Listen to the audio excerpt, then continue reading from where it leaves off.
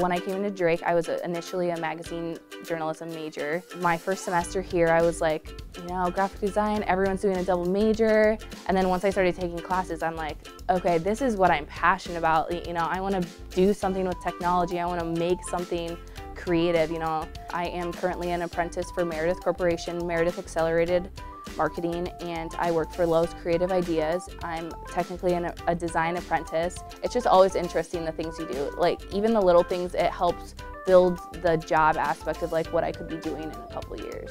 I was lucky enough to get an internship at 17 Magazine. There was amazing connections and networking through Drake University that allowed me to connect with people in New York City and pass along my information. The day that I received the email saying you are accepted, I cried for three days straight. My mom thought I was hallucinating because it had literally been the dream of my life. Being there, moving to New York was a dream come true. My name was being put in a magazine that is all around the world, you know, just to have that fact and to know that I had a part of that is you know, life-changing to me.